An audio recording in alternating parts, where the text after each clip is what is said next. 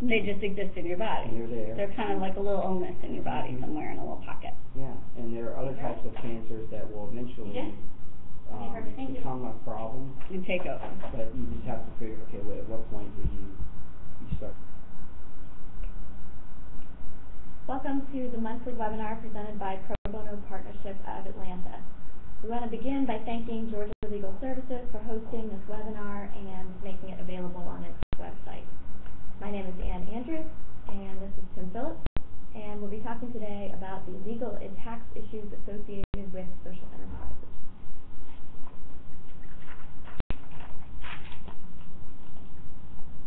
The uh, mission of Pro Bono Partnership of Atlanta is to provide free legal assistance to community-based nonprofits that serve low-income or disadvantaged individuals.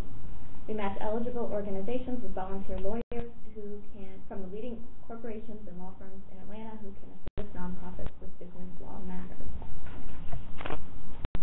The, just briefly to go over eligibility, uh, in order to be a client of the Pro Bono Partnership, your organization must be a 501c3 nonprofit, must be located in or serve the greater Atlanta area, you must serve low-income or disadvantaged individuals, and must be unable to afford legal services. You can visit us on the web at www.probonopbpatl.org for Pro Bono Partnership uh, to get more information. So to start off, one of the main questions that uh, we need to talk about is what is social enterprise? There are a lot of definitions, and it's actually a new enough concept that uh, there isn't one accepted definition for it. Um, one I like to use is the use of market-based strategies to solve social problems. As you can see from the definition, it incorporates aspects of business and nonprofit in one. Nonprofits have become interested in social enterprise recently because it presents an opportunity to diversify income sources and also to generate some income. And it's the, and while nonprofits can be either, uh, while social enterprises can be either nonprofits or businesses, uh, today we'll be talking about the nonprofit form of social enterprise. Moving on to uh, slide five. A couple of examples of social enterprise right here in Atlanta.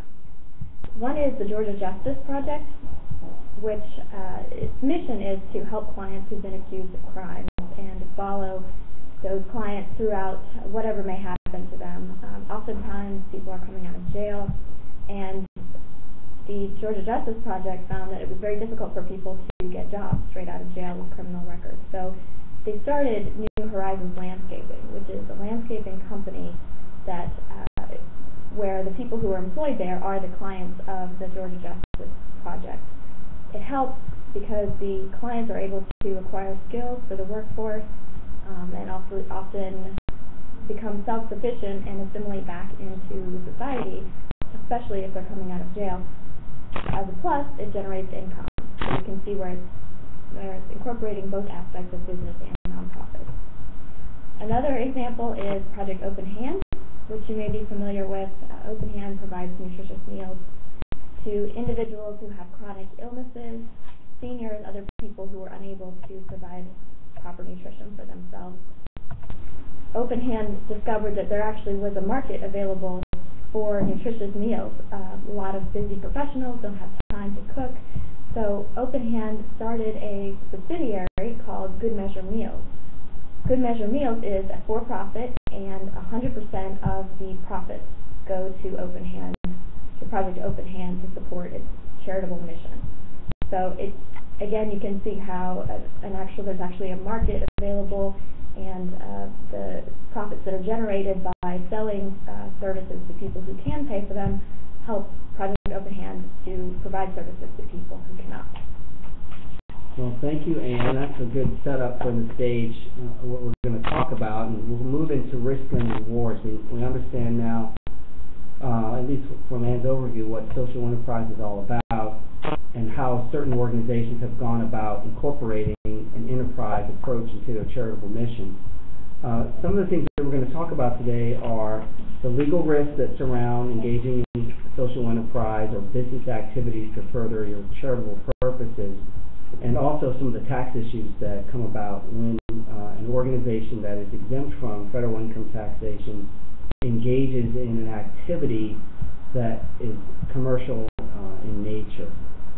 Uh, one of the, the large-scale sort of uh, overview aspects of engaging in social enterprise or um, activities that are commercial in nature is under the test that an organization must meet in order to be considered charitable or exempt from taxation under section 501c3 of the Internal Revenue Code is the um, the ne- necessity to operate in furtherance of your charitable purpose. So when you go to the IRS and ask for an exemption in the form of the application, you generally will describe what you intend to do. And uh, when the IRS writes you back a letter and says that they determined that you are exempt, they will tell you that that exemption is conditioned upon uh, your activities that are strictly in furtherance of your uh, exempt purposes. So the term that you'll find in, in the revenue code is actually exclusively, and, and um, there are some parameters that you can operate within so that you can do things that are, while we, they're commercial in nature, nonetheless further your exempt purposes. So that's a that's a big um, overview that, that you need to uh, keep in mind. Another is that there are legal consequences in um, involved with business activities, uh, and that might include losing your exempt status. So if you do have a determination from the IRS, you want to make sure that whatever activity you're engaging in doesn't jeopardize your loss of that exempt status. So one of the first things you want to do if you think social enterprise may be something you're interested in is pull out your articles of incorporation, have a look at your mission statement, pull your bylaws, and see, re-engage with whatever your mission is. And that's going to help you determine whether what you do as a social enterprise is related or not to your mission. And we'll talk about that, how that relates. We're on slide eight now. So the, the issue with business activities, and by business activities, we're talking about selling a service or goods, um, is that if you are a 501c3 tax exempt organization, you cannot engage in unrelated business activities that are too substantial in relation to your charitable mission. Obviously, that begs the question. Um, the basic test is if it's unrelated, it can't be too substantial. Related depends on whether what you're doing furthers your mission. So, for example, if your mission is to provide job skills training for the mentally disabled, and you decide that you want to start a program where a local business will pay uh, the mentally disabled individuals in your program to help assemble handicrafts, for example, and this becomes a, a central part of a part of your program that you train mentally disabled individuals on how to uh, be a good employee, how to assemble these items, or um, and and basically the idea being that they're going to gain skills and then go out into the workforce and be able to be self-sufficient.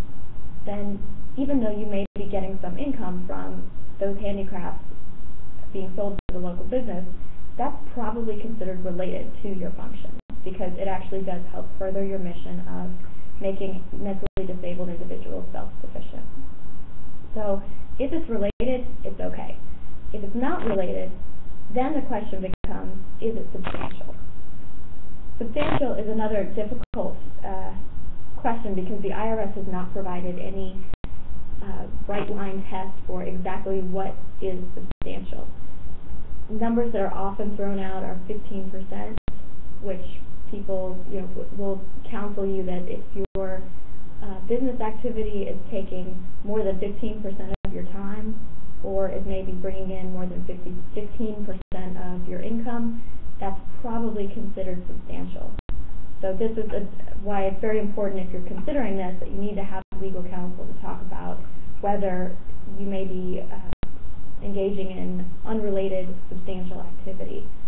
The problem with that is you jeopardize your tax exempt status. That's probably wor- the worst thing that can happen for most nonprofits. So that's that's ish- one major issue that you're going to need to be concerned about um, and get past that threshold.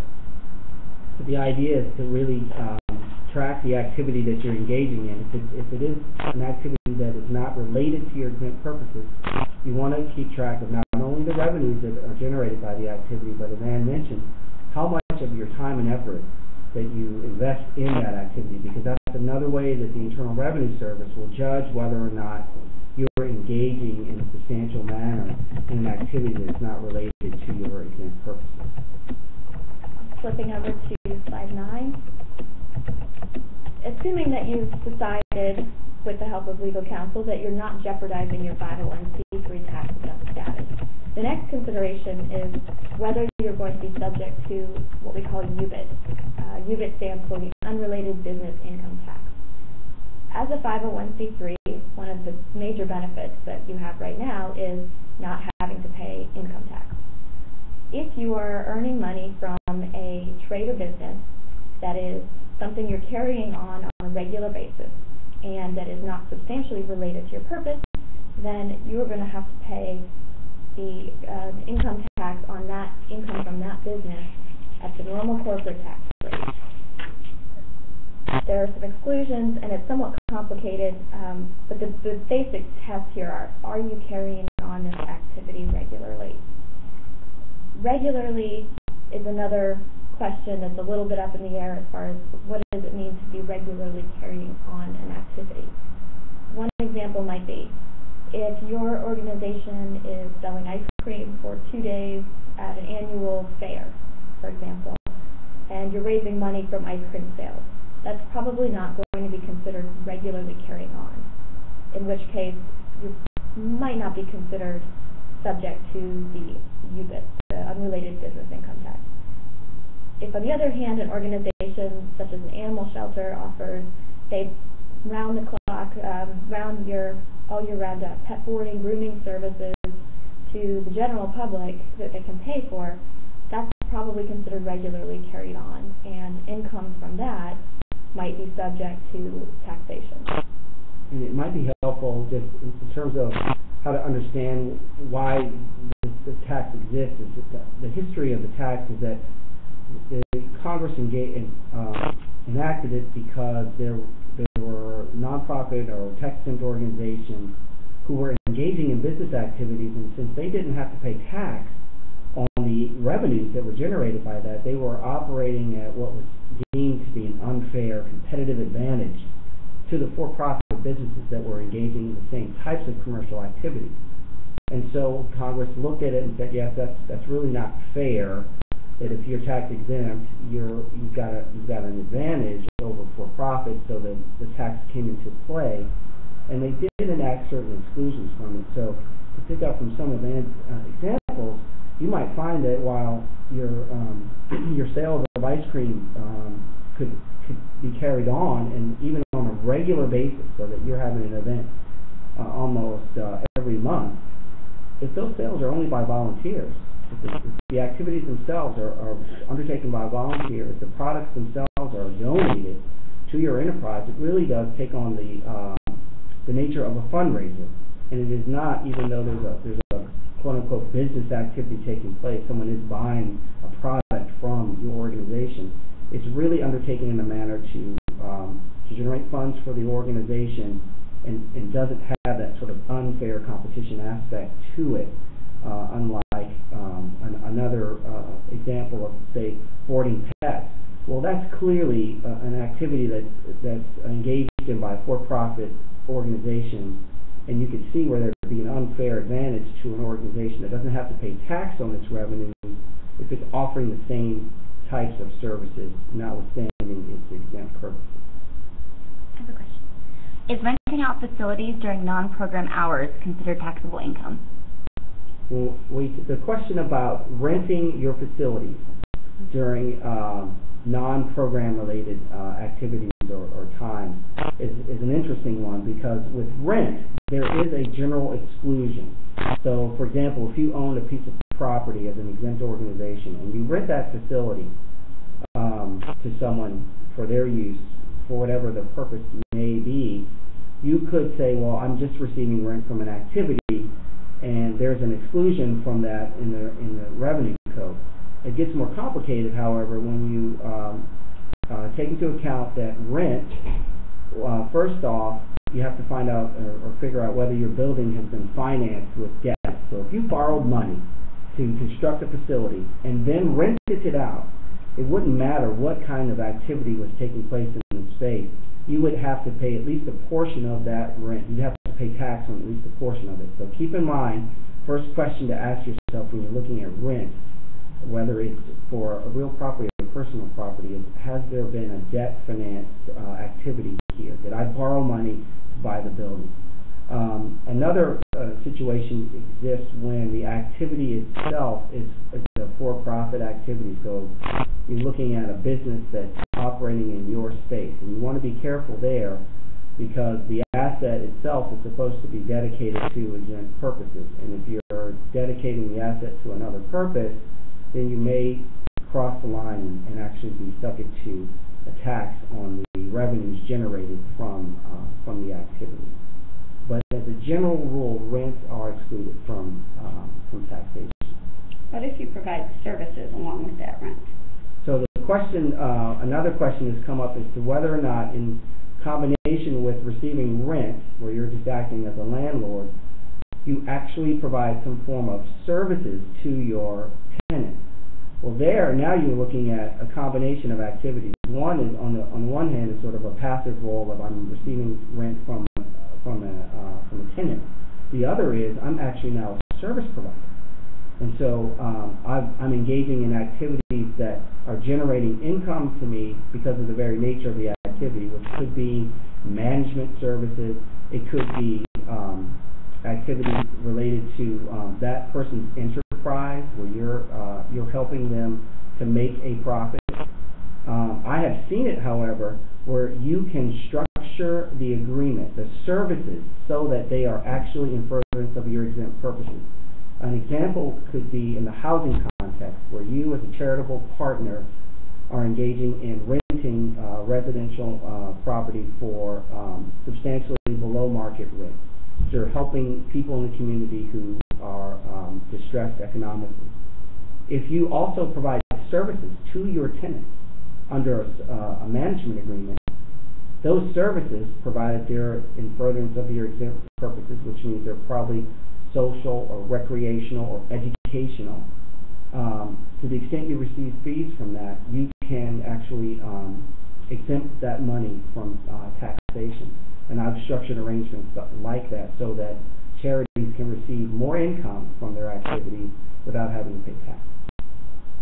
The other concern, obviously, is for, for the purposes of whether you need to pay tax, one of the questions is, are you regularly carrying on that activity?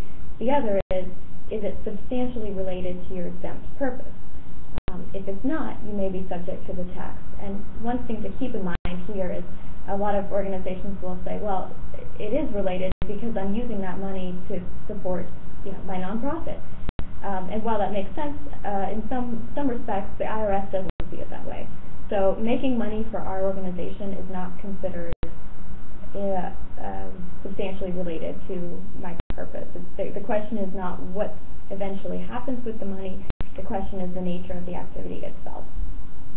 So using uh, the shelter activity, if you if you had a, a, a shelter for for pets who've been harmed or who are at risk of being harmed, and you also operated that center where people could board their pets, you couldn't argue that the activity was related because you were raising revenues to support the, the mission part of, of your enterprise. You would, you would still be subject to the tax more than likely because that activity is commercial in nature and isn't precisely uh, related to uh, protecting the animals from harm.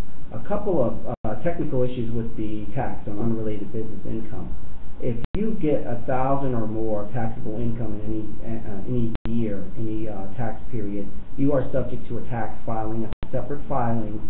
Um, it's a 990T, and that filing now, because of new rules and instructions, is a public document, so that it, it, it has to be made available to the general public. Um, also, it should be noted that in, if you're engaged in an activity that generates uh, the um, unrelated business income and you're subject to tax on it, you also have available deductions and credits that would apply in the normal course of uh, income or revenue-generating activities that- that for-profits engage in. So it, it may sound bad, but you do have some ways of limiting your exposure to the, the tax. Let's move on to slide 10, and we really don't have time to go into these today, but um, one thing to keep in mind is as long as you're not jeopardizing your, your taxes on purpose, it's not a terrible thing to pay uh, unrelated business income tax. It, it doesn't mean uh, that you shouldn't engage in social enterprise. It can be a great way for nonprofits to diversify income and to help add additional funding streams, particularly in this economy. Um, we're seeing foundation sources of funding dry up, so it, it is necessary to get a little more creative. Um, in line with that, there are a couple more, there are a few more sophisticated ways of dealing with trying to avoid having to pay that, that unrelated business income tax or um, avoid jeopardizing your tax exempt status. And these are things that you would need to talk with an attorney about to decide whether they would make sense for you, but there are options in terms of uh, some organizations will establish for-profit subsidiaries. Um, for example, Project Open Hand did that with Good Measure Meals. You can uh, engage in partnerships with for-profits, and there's also a new concept called the L3C, which is a hybrid business nonprofit um, entity, and it's, it's not available yet in Georgia, but it, there's a lot of interest in it. Um, it's available in some states, and it may be something that we could look to in the future that would fit a little bit better the social enterprise model. Moving on to slide 11. Uh, and some of the areas where we see social enterprise are um, already developed in terms of both the income tax treatment that you can expect and the legal ramifications of entering into them. Uh, there's three that we're going to talk about specifically, and, and uh, we'll start with cause-related marketing or cause marketing, and then talk about qualified sponsorships and also uh, a concept that Anne touched on, and that's joint ventures, where you actually get into some form of a partnership or venture with for-profit entities. With cause marketing, and sort of bringing it down to its bare bones, it's really the ability to use someone's product promotion to promote your charitable mission. Uh, and we see this a lot. Um, it's probably one of the most common forms of social enterprise that's out there today. In fact, it's become such a common thread in our economy that some people may not even take note of it uh, when they come across it, but it is it is very prevalent today. Another, and, and this is, uh, although the concept itself is not new, the tax rules around it are somewhat new, and that's known as a what's known as a qualified uh, sponsorship. And a qualified sponsorship is really a way of a for a charity to provide a significant recognition, if you will, to a corporate sponsor or donor without crossing over the line into a taxable exercise or activity, which is advertising. Charities aren't permitted to advertise, per se, for commercial activities, but they can engage in what are known as qualified sponsorship. Um, and lastly, there's the joint venture. And joint ventures have been around for some time, and the law continues to develop around them. And so in, in this instance particularly, I always advise clients to seek legal counsel and uh, even tax accounting counsel because some of the rules that govern joint ventures are quite complicated. The tax rules can get uh, pretty sticky, and it doesn't do you any good to engage in an activity, even though it's very supportive of your mission, if it results in uh, either one, uh, an unrelated business income tax that you're not prepared to pay, or even worse, the uh, loss of your exempt status. Um, so talking about cause-related marketing in a little more detail, uh, and again, unfortunately, the time doesn't permit us to go into too much detail here, but to hit the highlights. Uh, the central elements that you'll see in any cause marketing relationship are one, it does involve some form of a for-profit business and a charitable cause. Those, you're going to you expect to see that. Um, another element is it usually uh, involves some kind of a specific campaign or promotion. And the campaign could last for some duration, uh, as, as well as the promotion. But the idea is that there's, there's an activity that's somewhat specific in nature, either around a product or uh, a campaign of products that involves the promotion of, uh, obviously, of, of for-profit um, wares and a charity's mission. Uh, and it, another element is that you would see this marketing approach to charitable giving. So, um, what's what's a common phrase to see is that a, a company is um, is doing well by doing good. Uh, we see that expression a lot. So, if, uh, for example, a company that makes cereal and produces cereal and promotes the cereal by saying we we provide um, some portion of our profits on each sale of this this product to uh, a specific charity. They're advancing their um, their commercial interest, obviously, by promoting their product, but they're also showing that aligned with a charity and promoting its cause. Um, and finally, one of the uh, the other elements that you'll see is in terms of the structure, and this is important to note because it, it does uh, relate back to the unrelated business income tax. You'll see in these arrangements that the payment structure is typically arranged so that the money that flows to the charity comes in the form of a royalty, and royalties are are specifically excluded from the tax on unrelated business income. So by having a stream of income in the form of a royalty, the charity is able to benefit from the activity, associate itself with a good corporate partner, and yet not have to pay uh, any unrelated business income tax on the revenues that are generated from the campaign. Um, some of the ways you'll see this undertaken, I, I would think the most common, and, and it, it, while it doesn't appear on the, the slide, it's probably because it's so common we, we see it, and that's really just a straight up product sale or promotion. Company A is selling a product and or promoting its product, and some portion of those proceeds are going to end up in Charity B's pockets, and that's where, what we really see uh, a lot of cause marketing or cause-related marketing campaign uh, structure. The other type is product partnership, where in our example here we've got a, a, a, company that's saying if you save uh, the lids from our product uh, and turn them in, then we will um, provide some form of income stream to a charity that we know is engaged in a life-saving the, the campaign is taken on a different flavor. There's some activity required of the participants beyond simply purchasing the product. Um, another format you can see out there is what's known as a certification. And um, one of the, the more common um, certifications we see out there is the American Heart Association has a heart check. And so a product may have a heart check on that, and that is actually involves not only the product or the provider of the product going through um, the commercial activity of promoting their their um, their product. It also involves the charity going through its own process to check off that product as being consistent. So you see, again, closer ties to uh, product uh, partnership with charitable promotion. The other is um, what we call a product branding, and that's really where the cause marketing campaign takes on a brand of its own.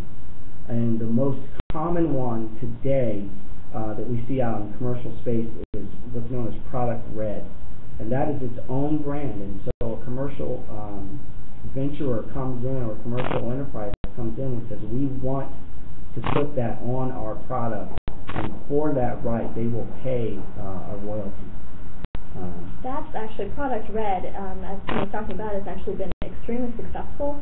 So you've seen more and more companies sign on, and big companies. You're talking about Apple, Gap, um, you know, Starbucks, even. So you'll, you've actually seen more and more familiar products getting this Product Red logo and certification on it, and it's a perfect example of a win-win. It's worked out very well for the charity. It has also worked out very well for the company. Um, and since you know none of these things don't come without their set of complexities, I want to mention that before one engages in any kind of cause-related marketing campaign, it really is important that you consult with legal counsel there are a myriad of state laws and regulations that could come into play here. Uh, the most common of which is the regulation on what are known as uh, commercial co-venturers. Uh, This could, this would require um, anywhere from uh, a specific registration with the state on the part of both the charity and the commercial enterprise uh, to actually filing the agreement. Some states require you to file whatever agreement you have. Uh, And and I would strongly encourage uh, any charity that's looking to to engage in a commercial enterprise or social enterprise to have an agreement, no matter what it is. Somehow, you need to get on paper what it is that the two partners uh, are going to engage in, and what the rights and duties and responsibilities are. Because without that, if something should go wrong, you won't have anything to rely on to show that the other party had agreed to a certain thing. So that comes into play here specifically because state laws may require it. So be careful when you, you engage in the activity to ensure that before you step foot into the commercial space, you've tied up everything into a specific agreement uh, where everything's laid out. And we have a question. Um, should nonprofits also worry about the fundraising registration and then also reporting in multiple states? The question uh, relates to a topic that I'm touching on here, and that is, do nonprofits need to worry about state registration for fundraising, um, charitable promotions, and the like? And the answer is yes. Because uh, when it comes down to it, the state attorney generals that regulate this activity, for the most part, and that's where you find this kind of regulatory um, requirement, are looking after charitable assets. And so they're looking at charity. So if you are going to engage in activity, and, and this could be as simple as any, any a, a fundraising campaign. Let's set aside commercial activity for, for a moment. If you're engaging in um, fundraising activity and it's on a, a broad scale, you definitely should be registered. Um, and if there's any question in your mind about how to go about it, consult with an attorney. Uh, the Pro Bono Partnership of Atlanta can provide you counsel in that regard and you can go on the web and you can actually learn about what the requirements are for your specific state. Georgia's very good, it's user friendly. Uh, what is required of you as a charity to register? So the answer to the question about charities being worried about fundraising activity is a strong yes. And if you engage in one of these types of activities you've described, and it crosses over, say, into Florida or Alabama, if you're located in Georgia, do you need to also then register in those other states where it may bleed over into other states? You know, the, the question is sort of picking up on that last one. If you, if you do engage in activities and you, and you deem that, in fact, you do need to register in the state where your primary activity occurs, what happens when there's bleed over? When you, when your campaign or your activity spread out beyond the jurisdiction in which you're located and, and there's another jurisdiction where you're, you're engaging in, in the activity? And, and the answer to that question is yes, you need to look at that jurisdiction, figure out what their fundraising requirements and registration requirements are, and uh, similarly register to do so. I can tell you from my experience that the, um, the fees, the application process really are not anywhere near, they're not burdensome, they're not onerous. It really is a matter of filling out a form and providing certain information about your organization, and it's um, those who are uh, insiders, the directors and the officers. But the fees aren't high, and it really uh, does you so much good to have that done versus getting a call from the Attorney General's office who's conducting an investigation into why you're raising money in the state without registering.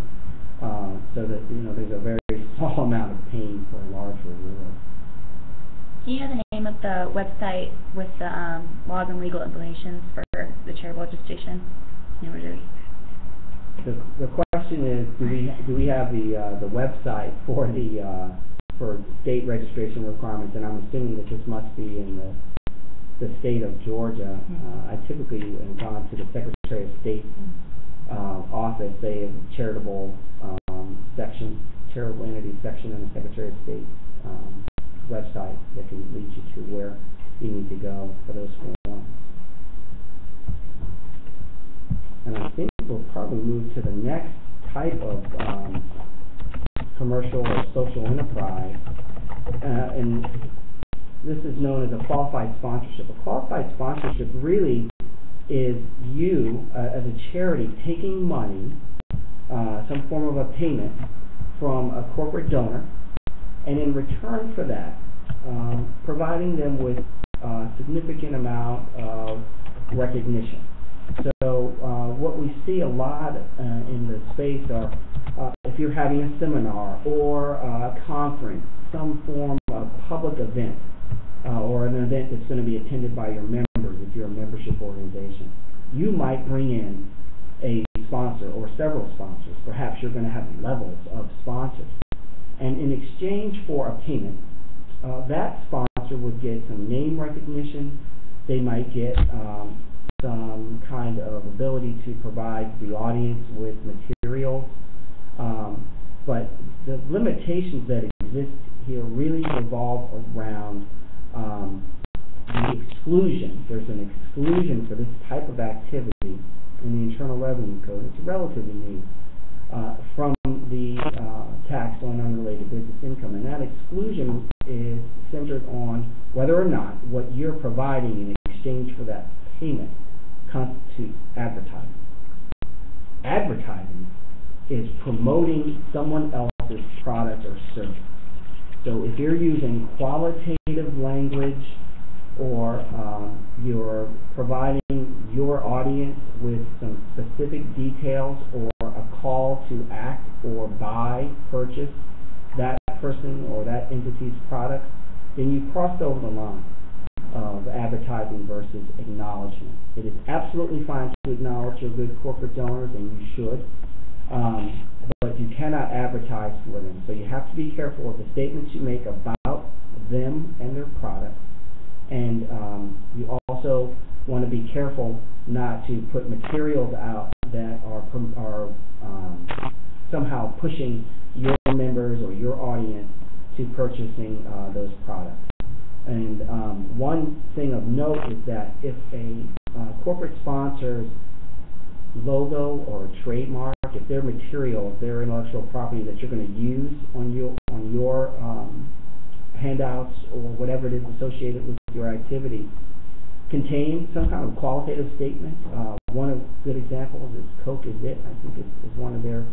That's fine because it's actually embedded in their logo, and all you're doing is allowing them to display their logo. But if you take another step and put information about that uh, product or service that's qualitative in nature, then you really have engaged in what is known as advertising. And the outcome for you is not so much that you are, are going to lose your status as a charity, uh, assuming that this isn't all you're doing. Um, the outcome is, is more than likely that a portion of that payment is going to be deemed to be advertising, and you'll be subject to UBIT on it. So that's where you want to exercise some caution. I'm going to move over to slide 14, joint ventures. Joint venture activity um, is perhaps the most interesting and uh, I would say the, the, the, the, type of activity that has the most um, uh, opportunity for a, a charitable enterprise and yet it has the most risk. Because once you start down the road of uh, engaging in a partnership with an organization, then you really have taken the step of um, being a, a, part of the risk of the activity in which you are engaging. So uh, if, if you structure your venture so that you lack sufficient control over the uh, exercise, over the over whatever the activity is, and you're for-profit um, joint venturer who's clearly motivated by uh, uh, earning as much revenue as they as they can. That's, that's generally how for-profits work. You can really get into a bad place um, as an organization, both in terms of what you may be risking uh, on your uh, taxation, and of course uh, the potential to have your status revoked. Um, there are types of ventures that you can that you um, come across in this space. One of them is known as a whole venture, and a whole venture really is what it sounds like. You, as a charitable organization, are contributing all of your assets into this venture, and the for-profit, of course, is putting in its assets, and so you've created this new uh, entity of which you are a partner. And uh, there are lots of risks associated with that because the enterprise itself is obviously going to be some mixture of what the two organizations engaged in prior to coming together. And since one of them was a for-profit, you've added that um, additional risk that your activity could be deemed to be only in furtherance of that for-profit partner's uh, enterprise. So um, a significant amount of risk. There are IRS rulings in this area that specify the kinds of structures and the, uh, what needs to be in place to protect the charity's interests. Now, because they're issued by the IRS, they're um, they tend to be black and white, and uh, we know that in, in the real world, everything is not black and white. And so this is an area where I think it is absolutely critical. In fact, I wouldn't allow any charity that uh, asked me to engage in any kind of enterprise as a joint venture without their own legal counsel.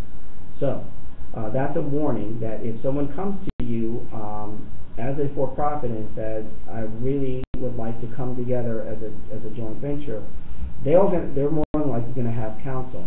That counsel shouldn't be your counsel because they have a different interest uh, and they they should be barred anyway ethically uh, because of the conflict that exists between the parties. So please if you are considering this, get your own counsel so you understand the risks that are, are there for you. With that said, there are lots and lots of advantages to, to bringing in a joint venture. You'll have access to capital that you wouldn't otherwise have. Um, you can actually further your mission in a very efficient manner.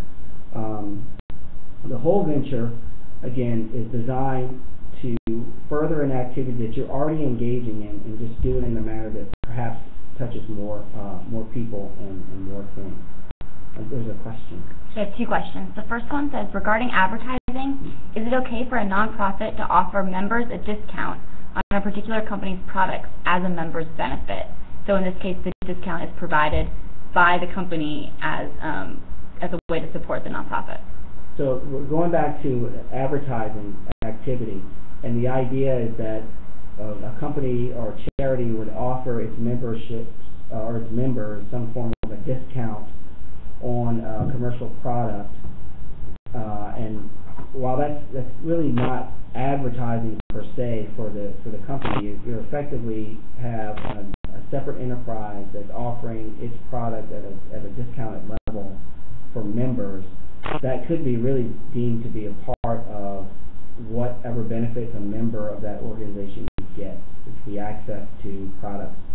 Uh, where you get into danger, I think, is where there's a, there's a specific offering of, for example, a coupon for that company. Because a coupon is clearly uh, designed to entice someone to go to a business, use the coupon to buy their product. And the IRS, in informal um, advice, has provided that in the nature of um, in a charity's business or in their charitable activities, if they are providing coupons as part and parcel of other materials that relate to, um, um, say, a convention or a trade show or something like that, the provision of those coupons could actually be considered advertising. So you want to exercise care there. Uh, and there was another part to the question. Oh, this is a separate question. Oh, there's a Yeah. separate question. What are some of the pitfalls if two nonprofits enter into a joint venture? The question is, two nonprofits entering into a joint venture. That can get complicated, but like Tim says, the most important thing is you need to get an agreement. You need to have something in writing. Yeah. Did, the pitfalls I've seen, and I've done these, um, these deals, and they really don't have to be complicated. It could be a straightforward letter agreement uh, specific to an, uh, a certain activity where two charities, for example, are going to engage in something, or we could even have a, a, a non-charity, uh, say it's a 501c6, which is a business league or, or chamber of commerce, that see that there's a there's an activity that would benefit both of the organizations where they to engage in it together. The important thing, and correctly noted, is that the, that there be an agreement in place between the two entities uh, even if it's simple terms, but that that agreement reflects what each party expects to put into and get out of that um, that venture. Since it should be um, clear that if two nonprofit organizations are engaging in an activity together, that activity should be furthering the purposes of both. You shouldn't have the same types of risks that you would uh, in the context of engaging in a partnership or venture with a for-profit. In other words, you shouldn't be uh, putting yourself at risk of, of the loss of your exempt status. But the risk still exists if you're engaging now as two nonprofits in what could be deemed a commercial enterprise. So if you're going to get together to sell things, if that's still not related to either of your of your uh, purposes, you're you're at risk that you'd have to pay the tax on unrelated business income. Again, that's not evil. Doesn't mean you shouldn't do it. You just have to make sure you pay it uh, so that you, you avoid the risk that the IRS will audit you and, and hit you with penalties and interest down the road. Um, I wanted to finish up with joint ventures. It's a huge topic, but there's some core elements of it that the IRS absolutely will expect to see. And that's whether or not you engage in a whole venture, which I talked about, uh, charity puts in everything, uh, versus an ancillary joint venture, so that you're, this is an activity that is, um, it's not everything you're doing, but you're engaging in in a significant manner. You are uh, putting some of your assets at risk uh, by engaging in the venture. But what the IRS really want to see is they'll want to see that that venture, whether it's whole or ancillary, is in furtherance of your exempt purposes. So that's number one. Um, to engage in, a, in strictly uh, an activity to generate income because you see the profitability of it has nothing to do with your exempt purposes. Um, that's extremely risky, and if it, if it crosses over that substantial um, barrier, then you've um, not only put yourself in a taxable situation, but you've also put yourself at risk of losing your exempt status. So make sure that the activity does further your exempt purpose. Second, make sure that you are permitted as a charity to engage exclusively in activities that uh, further your purpose. So if the venture is engaging in a broad range of activities, your part of that should be the type of activity that furthers your particular purpose.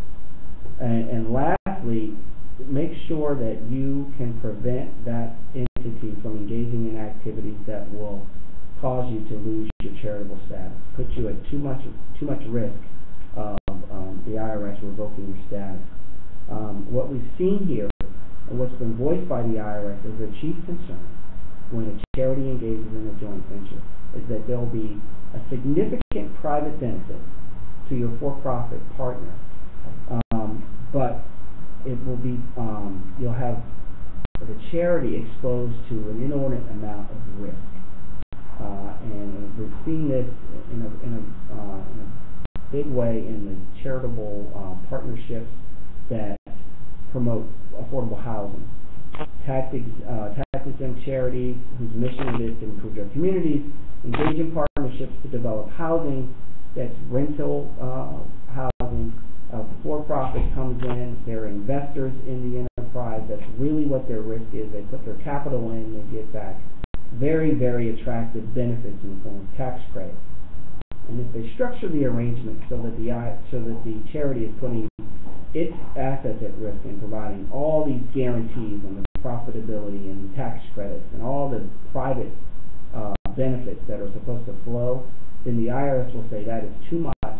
The charity is not, um, doesn't have the same or, or the right balance between furthering its purpose versus the private benefits to the uh, for-profit partner.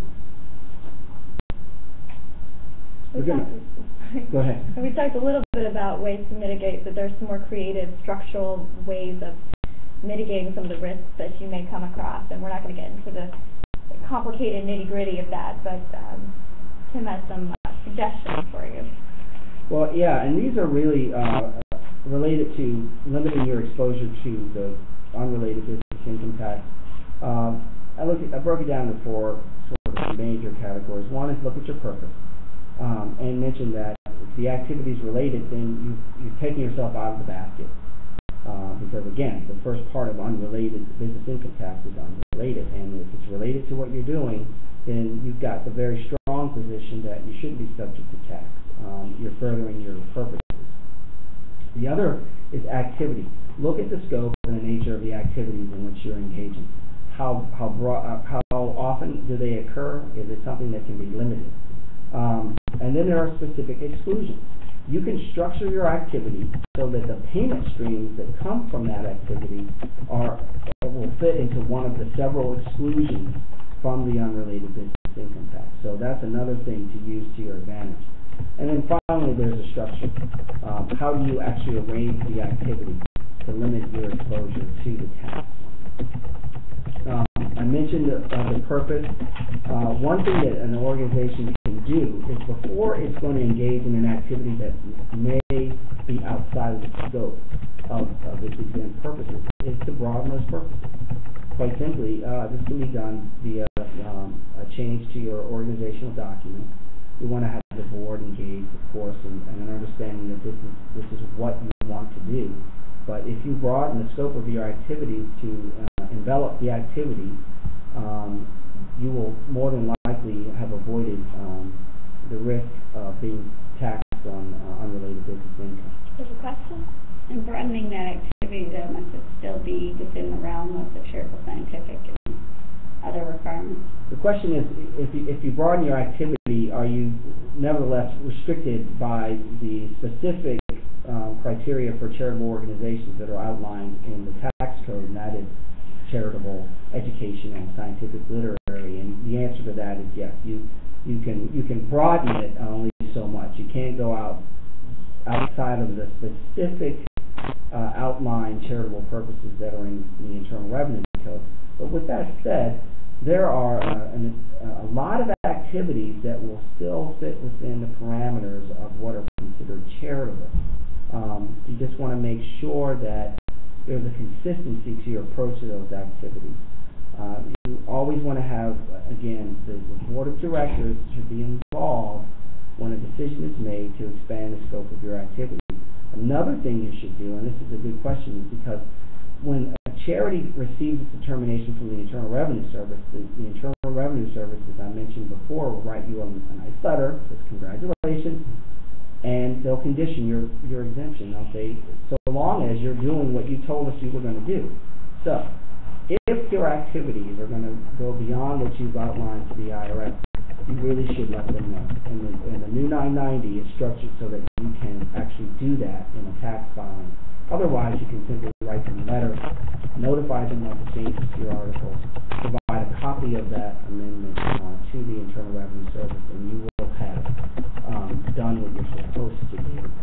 Um, another way of limiting risk on, on the, the unrelated business income tax is to actually have a specific target date um, or dates around which you conduct your activity so that you can stay below this regularly carried on threshold. And uh, as Anne mentioned, that's a that's a facts and circumstances kind of test. The IRS won't say, for example, that if your activity only lasts a day uh, or two days, that you're automatically excluded from this regularly carried on requirement. Um, there are examples where you may engage in an activity in a seasonal uh, capacity. You may sell Christmas cards during the Christmas season. Well, if we go back to what the purposes behind the unrelated business income tax are, and say, well, who else sells Christmas cards during the Christmas season? Well, that would be commercial card providers. And if you can do so and, and exempt yourself from it, um, then you've got an advantage. That said, you can structure your Christmas cards to be very, very charitably mission uh, oriented, and so that the Christmas card, while it is a Christmas card or holiday card, um, is structured so that yes, there's a, a season's greeting about it. There's a mission component to it because you're raising awareness about what it is that your organization does, and that has been successfully uh, undertaken by organizations. Another way, and we've mentioned this uh, on several um, slides before, is to operate within one of the exclusions. So we know that there, there's a tax on, on revenues that are generated from unrelated business activities.